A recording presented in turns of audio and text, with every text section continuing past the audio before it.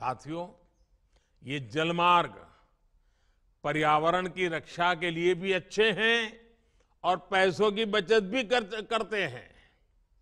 एक स्टडी के मुताबिक सड़क के मुकाबले जलमार्ग से परिवर्तन की लागत ढाई गुना कम आती है।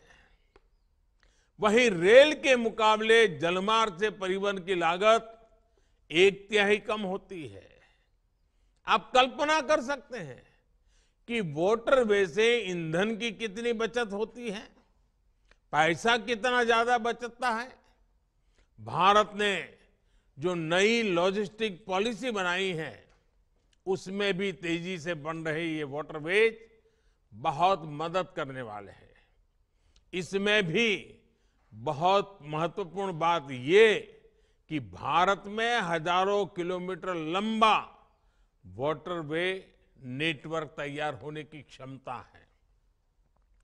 भारत में जो सवा सौ से ज़्यादा नदियाँ और नदी धाराएँ हैं, वो लोगों और सामान के ट्रांसपोर्ट में इस्तेमाल की जा सकती है। ये वाटरवे भारत में पोर्ट लेड डेवलपमेंट को भी बढ़ाने में मदद करेंगे।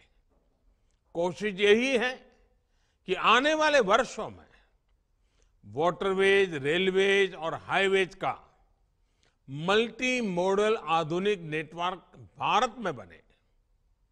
हमने बांग्लादेश और अन्य देशों के साथ समझौते भी किए हैं, जिससे नॉर्थ ईस्ट की वाटर कनेक्टिविटी भी सशक्त हो रही है।